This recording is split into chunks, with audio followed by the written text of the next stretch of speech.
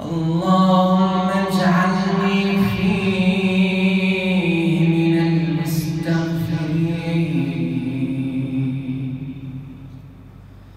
واجعلني فيه من عبادك الصالحين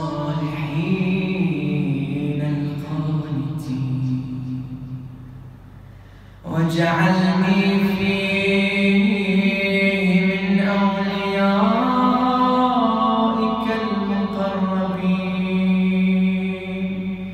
برأفتك يا رب.